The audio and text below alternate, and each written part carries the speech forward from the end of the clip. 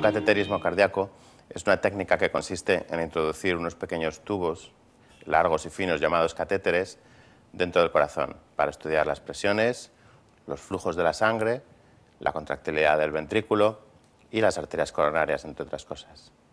El cateterismo tiene dos vertientes. Por una parte, la vertiente diagnóstica nos permite saber si las arterias coronarias están bien, cómo se comporta el ventrículo, qué presiones tiene el corazón.